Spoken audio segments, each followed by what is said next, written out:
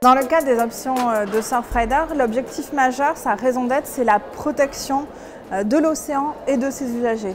Aussi, on essaie dans le cadre de la mise en œuvre de ces actions d'être le plus équitable dans notre appréhension euh, des genres qui sont en difficulté par rapport à ces usages.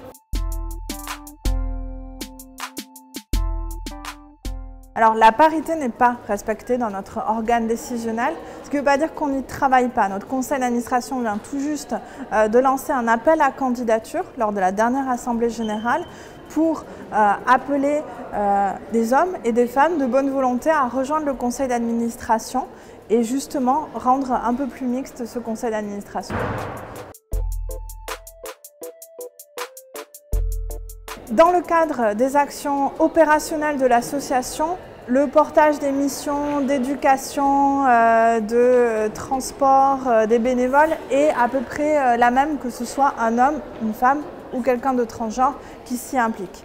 Sur les missions de responsabilité bénévole, plutôt de représentation des groupes locaux, on va avoir plutôt une majorité d'hommes, mais il y a aussi une implication culturelle dans ces choix où selon les pays, ça va être différencié.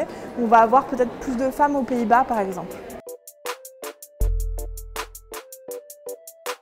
Alors, la question de l'égalité des genres, elle est euh, prise en considération en fait dans toute l'action de l'association. Elle va être formulée euh, en partie dans le cadre du plaidoyer. Également sur des questions d'intersectionnalité, justement pour pas être dans l'injonction euh, genrée dans ce cadre-là.